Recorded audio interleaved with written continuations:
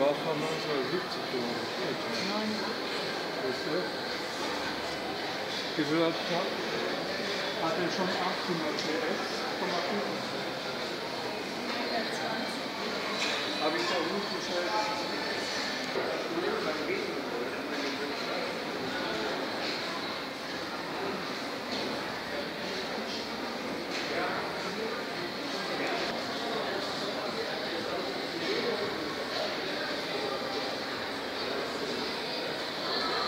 Wer ist damit?